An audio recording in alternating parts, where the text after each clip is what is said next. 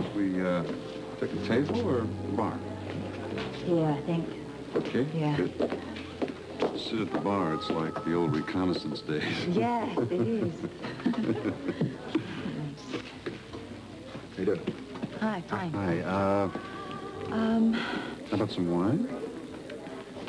I'll have a club soda and lime, please. Okay. I know, I... Yeah, yeah, yeah. Make that too. Okay, coming right up. Sorry, lime. It's all right. Yeah, you know, it's right. It, you remember those times? Oh, gosh. You and, and Robert and I, we were so inseparable, weren't we? Oh, yeah, yeah, yeah. Sometimes uh, by choice, sometimes by necessity. Yeah, May I uh, make a suggestion? yeah. Oh, and there's the other one. Thank you very much. You're welcome. All right. You can help, but you do that from a distance. And you always have to keep your objectivity. Be supportive, but with a jaundiced eye.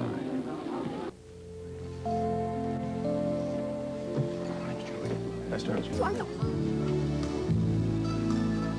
Don't kick yourself all over town about this. So, what would it be?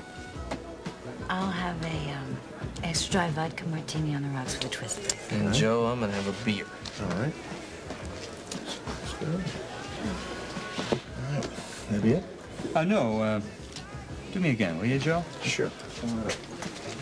Would you just get one thing straight? You did nothing wrong. Hey, uh, Joe, give me another drink. All right. You take personal checks, don't you? Sure, Scott. Good.